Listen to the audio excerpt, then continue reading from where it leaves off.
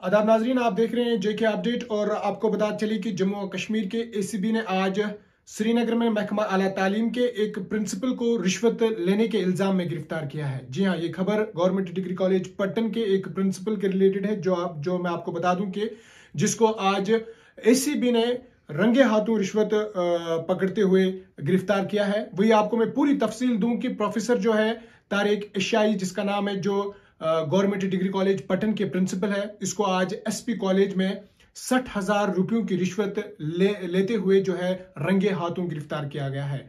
वही जराये का कहना था कि शिकायत मौसू होने पर police station ACB central Kashmir में आ, सेक्शन सात करप्शन एक्ट 1988 के तहत एफआईआर दर्ज की गई है और तहकीकात का आगाज़ जो है वो भी किया गया है।